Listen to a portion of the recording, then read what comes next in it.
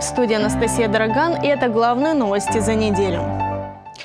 Сотрудники ФСБ края пресекли деятельность крупного наркоканала, масштаб которого достиг нескольких регионов. На этой неделе они изъяли почти 5 килограммов наркотических веществ при задержании наркодельца. Житель Красноярского края намеревался сбывать их на территории Барнаула. Всего в машине обнаружили 15 свертков веществ из Новосибирска, Томска, Кемерово и Новокузнецка. Обвиняемый признал свою вину, сейчас он заключен под стражу. Ему грозит до 20 лет лишения свободы. 48 дорожных объектов отремонтировано в Барнауле в прошлом году. Завершено долгожданное строительство путепровода на новом рынке. Отмечен рекордно низкий уровень безработицы. На особом контроле постепенное повышение оплаты труда работников бюджетной сферы. Это лишь несколько показателей работы администрации города и главы Барнаула Вячеслава Франка в 2023 году. Его отчет выслушали и оценили депутаты и общественность. Много ли плюсов и какие проблемы необходимо решать как можно быстрее в нашем сюжете. Экономика – основа качества жизни барнаульцев. Достижений достаточно в металлургии, производстве вагонов и оборудования, оптики и электроники. По словам главы города, рекордно низкий уровень безработицы отмечен в прошлом году. Год от года становятся лучше дороги краевого центра. В прошлом году работы велись на 48 объектах. Из них 34 – это дороги пригорода и частного сектора. Долгожданным стало завершение основных работ по реконструкции моста на новом рынке. Спасибо всем, кто принимал участие в этой работе. Могу сказать даже не как представитель дорожного, ну, скажем, направленности, а просто как э, человек, который сам за рулем передвигается. Город Барнаул точно не в плохую сторону не выделяется по России, а по соседям, по многим, даже ну, как небо и земля наши дороги в городе выглядят.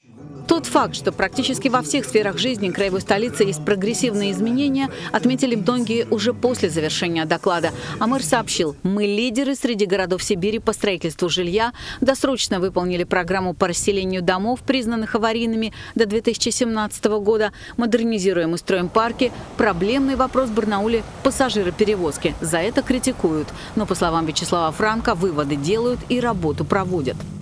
Администрация города заключила долгосрочные контракты на обслуживание 17 автобусных маршрутов. Контракт предусматривает приобретение перевозчиками нового пассажирского транспорта. При поддержке бюджета города до 30 года планируется обновить четверть автобусов, выходящих на линию. Депутаты от разных фракций, обсуждая отчет, тоже упомянули о транспортной проблеме и не только. Депутаты фракции «Единая Россия» проехали на новых трамваях качестве пассажиров, впечатление положительное. Вместе с тем, в этой отрасли еще остаются нерешенные вопросы. Одни, один из них – несоблюдение графика движения на маршрутах. Этой проблемой еще предстоит заниматься нашему комитету по дорожному хозяйству и транспорту. Несмотря на сложности, результат работы администрации виден.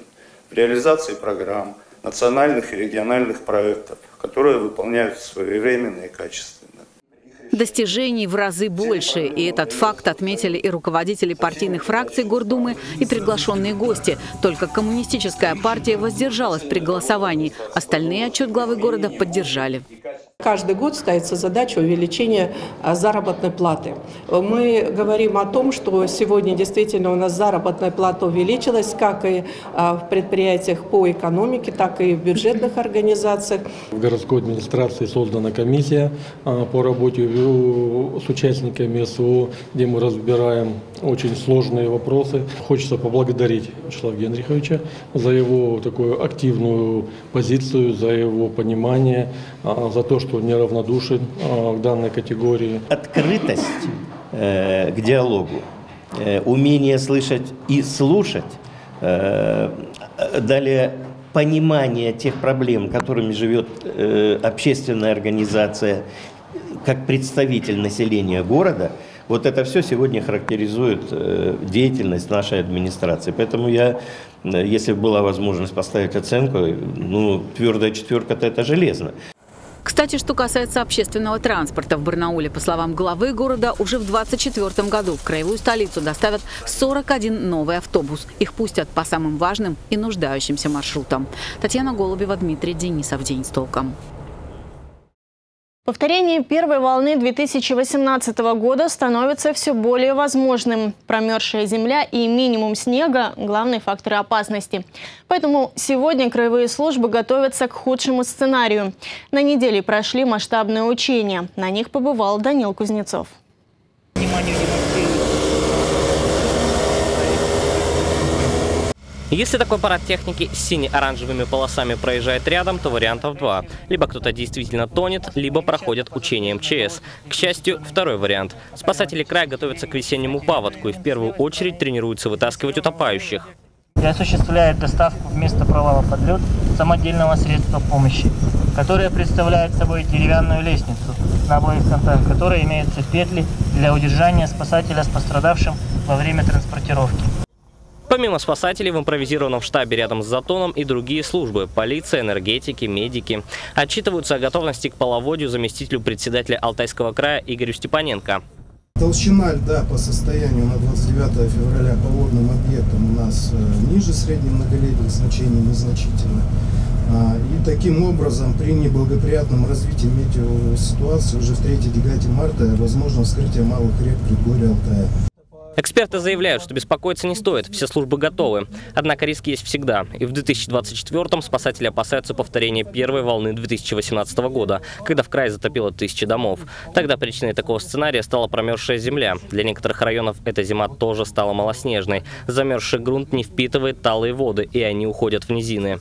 Когда земля промерзшая, значит, тогда мы понимаем, что если резкое потепление, не дай бог еще с дождями, то, конечно же, в это время, ну, э, ждите того, что, с чем придется бороться. Состав формирования, конечно же, у нас улучшился. Улучшился и э, федеральная группировка, улучшилась группировка подразделений э, э, территориальной системы РСЧС мы продемонстрировали только малую часть э, всей группировки. Порядка 2000 человек, порядка 300 э, единиц техники. Это только группировка, которая предназначена для оперативного реагирования.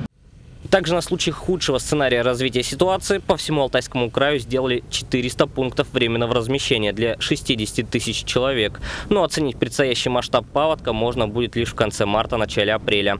Данил Кузнецов, Алексей Фризин. День с толком. Молодежь Алтайского края все чаще покупает дачные участки. Особенно не пользуются спросом у молодых семей с маленькими детьми, отмечают эксперты.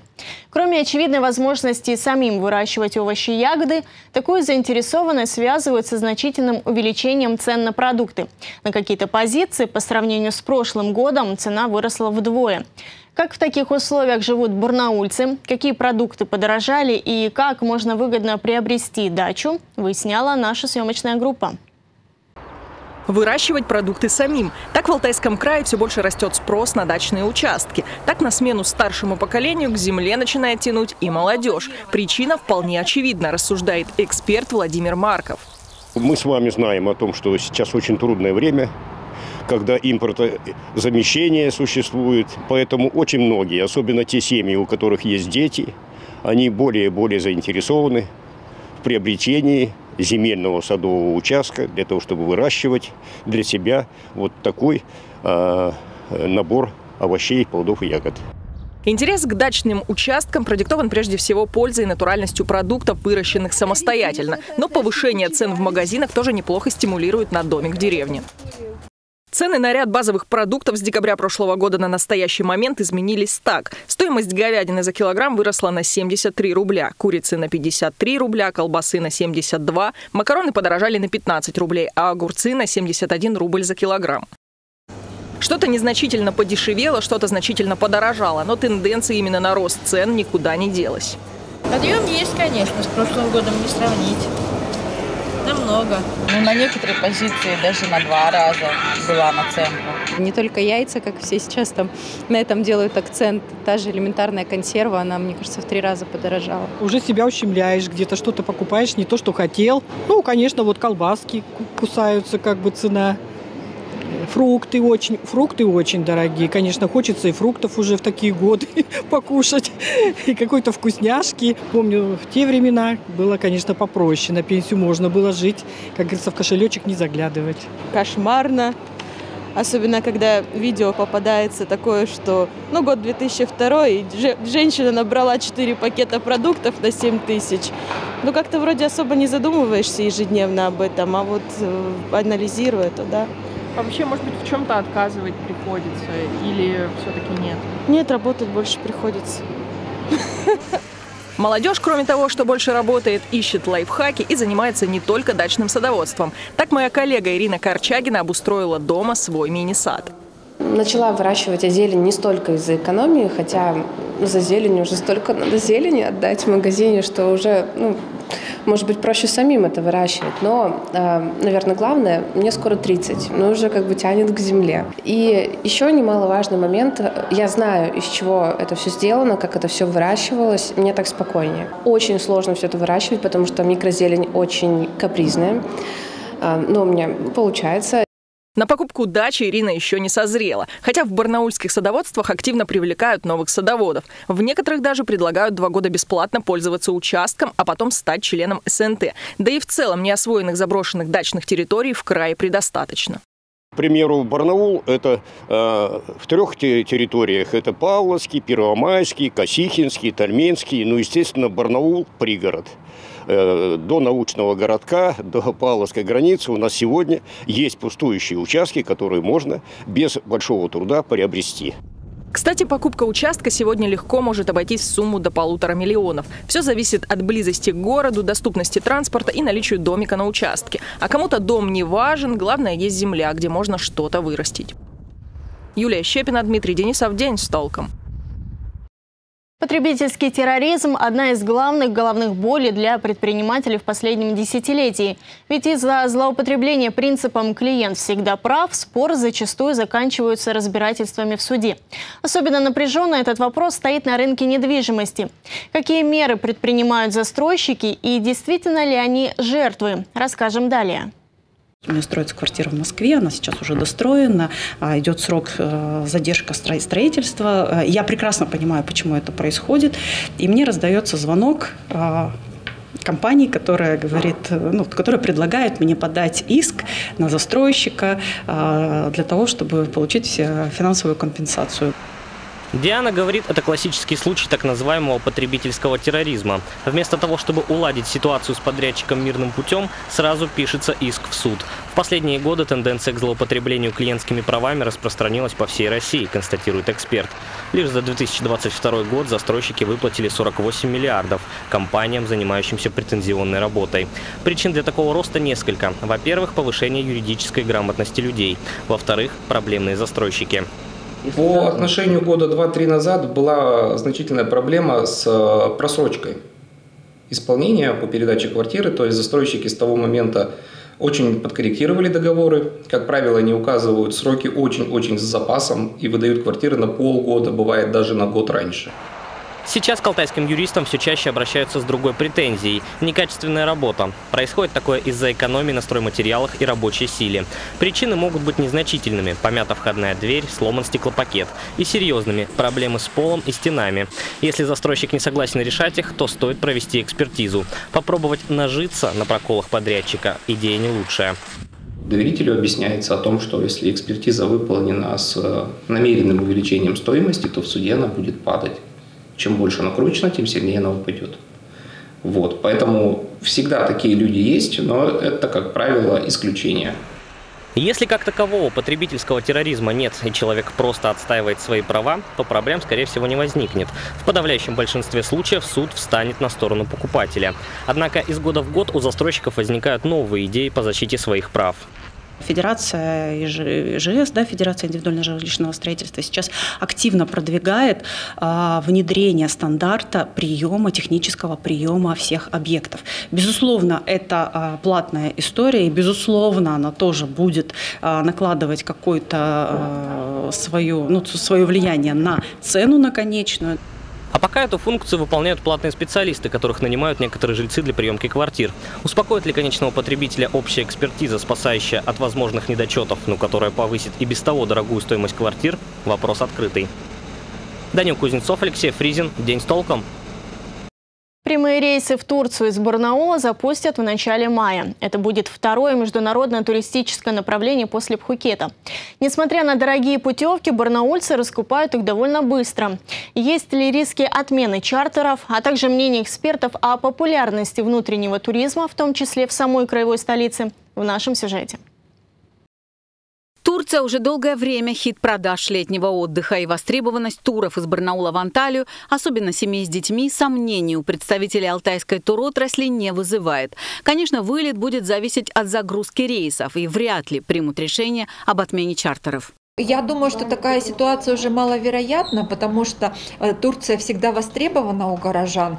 Рейсов не так много поставлено, и я думаю, что они будут заполнены. Очень удобно лететь напрямую из Барнаула, потому что дополнительная дорога – это, во-первых, и дополнительные затраты, и временные затраты. Алтайский край Горный Алтай тоже давно точка притяжения туристов. Последние пару лет турпоток к нам из центра России увеличился на 20-30%. И это еще не предел. Туроператоры говорят, комфортных точек размещения становится больше, а это для многих один из основных факторов. Причем бронировать лето надо уже сейчас, иначе мест просто не останется. Топ-5 самых популярных туристических мест Алтая от Натальи Белоусовой. Во-первых, это а, район Манжирока, потому что там появился достойный сервис, инфраструктура. Второе место – это район озера Ая, потому что это близость, во-первых, к, там, к аэропорту и так далее. Третье место – это, наверное, Белокуриха, потому что, конечно, это, во-первых, так как для лечения ее выбирают, так и для семейного отдыха. Это у нас, наверное, Телецкое озеро, потому что а, сейчас дорога туда тоже становится более комфортной. Ну и пятое место – это, наверное, высоко высокогорье, то есть это район Акташ и туда выше, да, то есть это возможность а, посмотреть другой Алтай и возможность сочетать с экскурсионкой.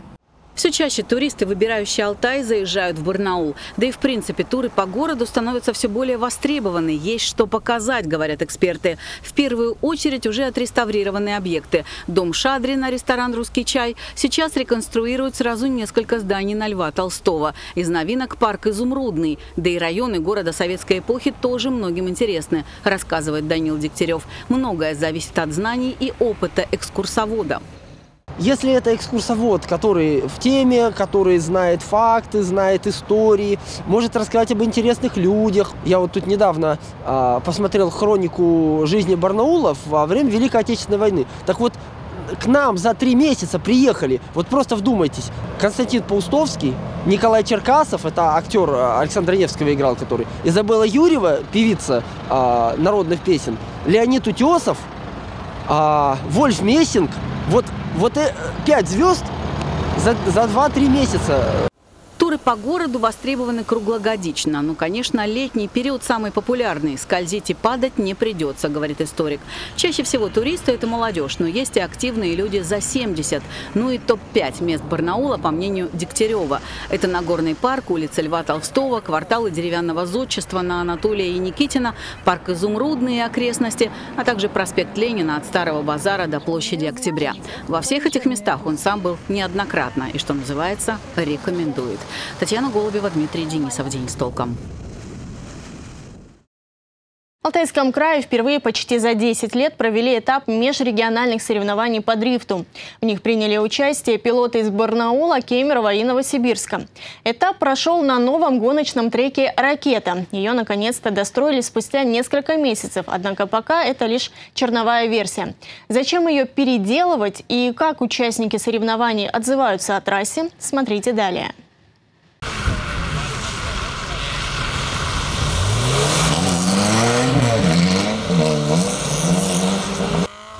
Езда на грани – норма для этапа Сибирского межрегионального кубка по дрифту. Только так здесь можно побороться среди 40 с лишним человек за место на подиуме. Соревнований подобного уровня в Алтайском крае не было около 10 лет, а на почти полноценном гоночном треке вообще никогда. Речь, конечно, о трассе «Ракета» под Павловском, которую инициативная группа строит с прошлого года.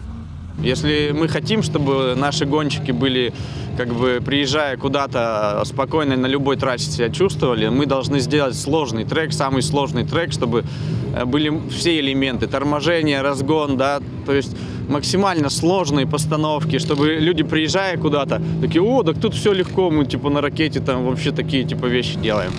Трек действительно получился сложным. Его особенность в том, что резкие повороты идут буквально друг за другом. Из-за этого скорость невысокая, и приходится грамотно отрабатывать все перекладки, чтобы не замедлиться. Она не сильно скоростная, то есть, но есть моменты, где нужно ускориться, соответственно, и присутствует перепад высот, который тоже немаловажную роль свою играет. Опять же, лед заливной. То есть лед здесь льют, он какой-то тоже специфичный, он не такой, как везде, он сильно скользкий здесь. Чтобы автомобиль лучше держался на льду, участники настраивали подвеску и двигатель специально под эту конфигурацию. У кого-то были и нестандартные решения для правильного распределения массы и прижима задней оси машины. Например, радиатор в багажнике. Некоторые участники любят использовать вот такую вот аэродинамическую конструкцию. Ее ставят на седаны, чтобы они были похожи на универсалы. Например, как двойка или четверка «Жигули». А ее смысл в том, чтобы когда машина начинает занос, то благодаря сопротивлению воздуха, который как бы попадает на конструкцию, машину не разворачивает и сносит чуть-чуть дальше.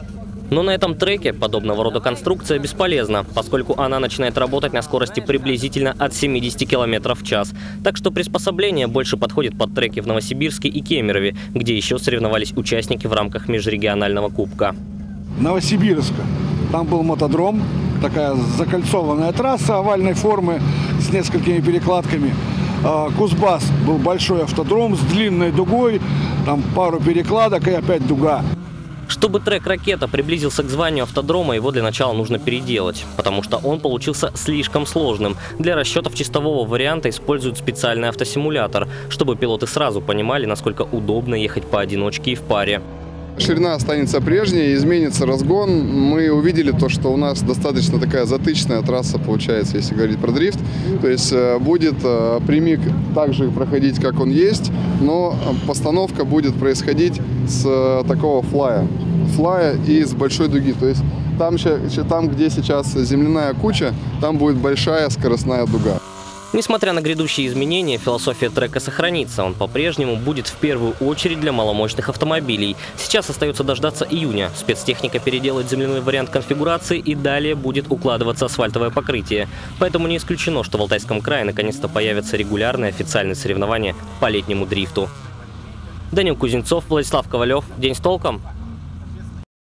Режим «Весна» включен. Несмотря на ранее неутешительный прогноз синоптиков о том, что в Сибири потеплеет только к концу марта, весна в регионе уже ощущается. Светлеет раньше, солнце светит чаще, а дневная температура понемногу, но повышается. Так, в предстоящие праздничные дни днем в Барнауле воздух прогреется до плюс 3 градусов. Весна для многих – это предвкушение радости, новой жизни и красоты. На улице тоже ожидается благодать. В длинные выходные, хоть и будет идти небольшой снег местами, солнце начнет по-весеннему пригревать. На следующей неделе дневные температуры несколько упадут, но не ниже минус 5 в Барнауле. Поэтому в целом можно уже говорить о том, что пришла весна не только календарная, но и погодная. Лучи алтайского солнца в Краснодарском крае всю неделю излучала Наталья Астахова. Она участвовала во Всемирном фестивале молодежи в качестве волонтера. А всего в ее копилке десятки подобных масштабных мероприятий. Добровольством она занимается давно и признается, что это для нее своего рода переключение. В Международный женский день мы поговорили с ней о том, что должна позволять себе каждая женщина, какие качества нужны всем людям и что дает ей волонтерство. Эмоциональная отдушина. Я работаю на двух работах, у меня тяжелая ситуация в семье, но когда я знаю, что впереди будет волонтерство, э, то быстрее делаются все дела, меня поддерживает семья. И э, ты понимаешь, что ты опять получишь новый опыт, встретишься со старыми друзьями, встречаю здесь друзей по сочинским, как раз паралимпийским играм, по чемпионатам, по всем. То есть это вот такой заряд энергии. И я считаю, что женщине очень важно иметь какое-то место, где, с одной стороны, отдушина, ну, чтобы, ну, как сказать, э, отдыхать от домашних забот, хлопот, не думать, что там сегодня приготовить на ужин. А с другой стороны, чтобы ты потом вот зарядился энергией, а потом как, э, как аккумулятор будешь ее потихонечку отдавать. Нужно уметь сочетать это и заботу о семье, и работу добросовестную, конечно, и возможность э, попутешествовать, тем более, что волонтерство так классно, когда тебе предоставляют крышу над головой. Если ты не ленишься, то каждый день вырываешься на пять минут посмотреть на море. Нам-то, людям из Сибири, море в диковинку – и вот это вот состояние, э, самое сложное во всех упражнениях, извините, это оторвать себя от дивана. Мое желание помогать, оно воспитано во мне семьей, моими родителями, что если видишь кого-то, кому плохо, трудно, подойди, спроси, предложи свою помощь. И вот это вот вылилось сначала просто помогать всем, кто есть рядом, потом вот такое вот волонтерство. И еще личный сугубо мотив, я делаю своим внукам крутую бабушку, когда они у меня будут. Скажите, а чем вам помогает вот культурный обмен, общение с иностранцами? Что дает вам для развития, для какого-то духовного просто? Ты понимаешь, насколько они ценят и любят Россию, насколько они э, правда вот дорожат э, своим приездом сюда в Россию, и ты понимаешь, что ты лицо России. Ну вот какое есть там уже с морщинками, но э, улыбка и доброта, которую мы, мы, не только я, все волонтеры транслируют, все иностранцы отмечают одно и то же, что э, здесь вот от каждого волонтера не видят только поддержку, только помощь, только доброту и улыбки. Э, этим вот как раз ценно вот это состояние здесь. То есть мы тут большой такой генератор по производству доброты и радости. Завязываются контакты между людьми, и я думаю, что вот это вот количество контактов перерастет в качество отношений. Э, когда для меня теперь, не знаю, там, э, господи, девочки у меня были из, сейчас вспомню, из Колумбии. Ну, что такое Колумбия? Крошечка на карте. Ну, теперь я знаю, что там живут три милые девочки, Хулиана, Алехандра и Лаура, э, которые теперь мои уже подруги. Ну, как я теперь буду относиться к Колумбии? Я буду, о, Колумбия, там у меня знакомые. Или, о, Мексика, у меня там знакомые. То есть, если учесть, что я в моем кокошнике разослать, наверное, по тысяче инстаграмов мира, мое лицо будет светиться во всем мире, потому что я была в кокошнике, яркий такой принимающий человек, будет наверняка больше дружбы в этом мире однозначно. Если уж не между странами у политиков свои взгляды, то между людьми точно. А что посоветуете другим женщинам? Что им делать, чтобы быть счастливыми, позитивными? Ну, наверное, счастье каждый понимает по-своему, классическая фраза. Э, самое главное – стараться жить здесь и сейчас, жить сегодня. Не откладывать на завтра хорошую косметику и красивое платье, надеть их и, и блистать там, где ты можешь блистать. Учиться чему-то новому. Говорят, старость начинается тогда, когда тебе лень учиться чему-то новому. Найти какое-то рукоделие, хобби, ну, комнатные цветы выращивать. Даже вот тут расцвела орхидеечка и праздник. И тебе не надо ждать 8 марта, она расцветет, когда когда ей вздумается. Э, то есть э, не надо ждать, пока тебя кто-то осчастливит. Делай себя счастливой сама. Найди, что для тебя счастье. Цветы, вышивка, не знаю, там общение с подругами. И позволь себе быть счастливой. Трать силы, время и даже деньги на себя. И тогда у тебя будут ресурсы, чтобы отдавать их другим. Мы женщины отдающие в основном. Но чтобы было что отдавать, его же надо иметь. А чтобы иметь, надо вот заботиться сначала о себе.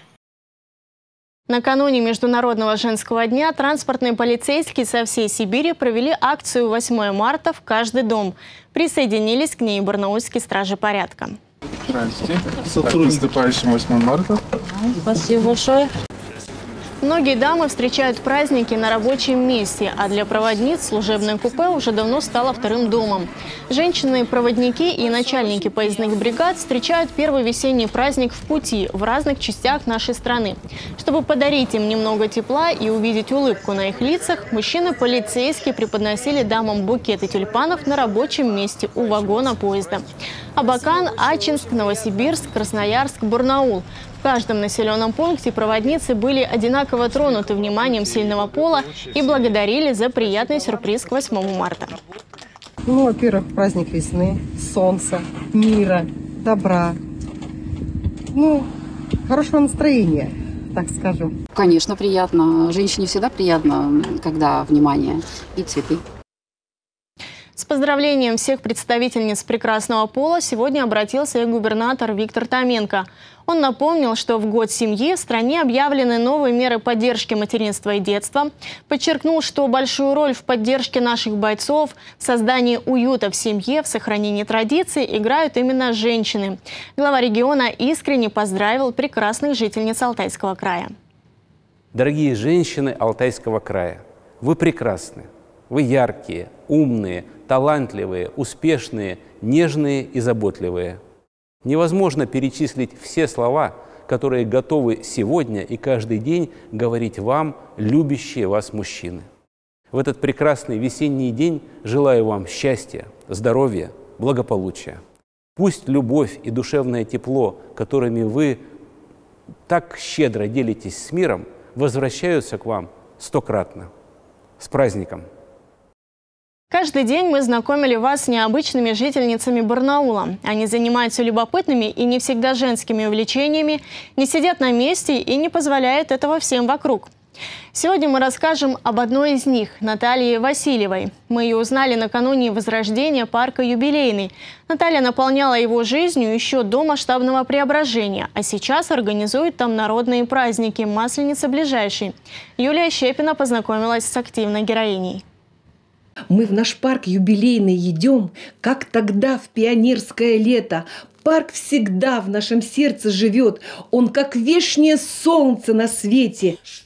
Автор стихов про парк юбилейный, жительница Барнаула, общественница и просто удивительная женщина Наталья Васильева. Народные традиции – ее давнее увлечение. Этими знаниями она делится на праздниках, которые сама же организует. На носу Масленица. Одни возрождают парк благоустройством, а она вдыхает жизнь. Мы пригласили в прошлом году и будем приглашать дендрарий. Боже, это же можно сделать второй дендрарий. Наталья – музыкант, историк, гид-экскурсовод, учится стрелять из лука, расписывает платье и через все занятия проносит народные мотивы. Вот такая спинка, лен. Это все Ребята, это манжирок, я, я, потому что мы там с ней были, и там на манжирке э, в свое время росли белые лилии и золотые, да, лилии. Ну, это вот мы взяли, нарисовали. В доме Натальи много интересных вещей. Стол в виде змеи, люстры с павлинами, подносы ручной работы. Мебель вся сделана руками Петра Петровича. Вот его место, мужское место. Это всегда утром у нас он сидит, здесь пьет чай, я сижу напротив, я уж так вот, я сижу напротив, и мы, например, э, иногда беседуем о чем? Нам очень обоим нравится литература. В частности, поэзия. Супруги регулярно проводят литературные вечера, собирая по 15 человек. И было на службе, и в сердце у них огромное небо, огромное небо, огромное небо, одно на двоих. А еще Наталья обязательно выделяет время на поездки. Тобольск, Казань, Томский, Ямал, Санкт-Петербург. Неполный список городов, где она была. Я просто поражаюсь ее вот этой всей. Я говорю, Даш, ты куда опять? Ну, у нее такой ее пыл такой, такой зуд общественный. Она бывало уезжала куда-нибудь, даже поехала в Питер, я погощу там на 40 дней. Знаете, в один год взял, что посчитал. Год 365 дней. Наташа, а тебя дома не было за год? Где-то дней 120 чем-то. В планах поездка на зимний Байкал на ледовый фестиваль, а в мечтах всемирное мероприятие под названием «Игры кочевников». Причем не просто его посещение, но и участие, а возможно и создание аналогов в Барнауле. Юлия Щепина, Дмитрий Денисов. День с толком. В эти праздничные выходные будет сказано много добрых слов. Мы решили узнать, какие приятности барнаульцы говорят женщинам и что приятно они слышат от них. Девушкам, маме, там, подружкам, какие приятные слова ты говоришь? Ну, Может быть, то, что они самые лучшие, лучшие, них никого нету и никогда не будет. Комплименты какие-то, само собой. Чтобы они оставались самыми лучшими для нас, красивыми, умными, чтобы привлекали нас. Красивая, милая. Ну, что-то обыденное. Ты добрая. Ну, вот такие основные. От э, женщин, от девушек э, приятные слова в свою сторону. Какие ты слышишь? Что тебе говорят? Ну, на самом деле ничего такого не говорят особо. Харизматичный, какой еще? Смешной в основном. Забавный. То, что я милый. У меня волосы красивые. Что я красавчик. Про внешность могу сказать, что, что стильно выгляжу там или еще что-то. От девушек редко слышу комплименты. Но все равно же хоть когда-нибудь слышал? Не, ну, наверное, девушки же как мужчины же по поступкам обычно оценивают. И нас же просто так обычно не хвалят и комплименты не говорят. Нам же обычно, когда мы что-то сделали, говорят. Говорите приятности по поводу и без. Поздравляем вас и ждем поздравлений от вас, дорогие зрители. Через несколько секунд о погоде спонсор прогноза компания «Эвалар». До встречи.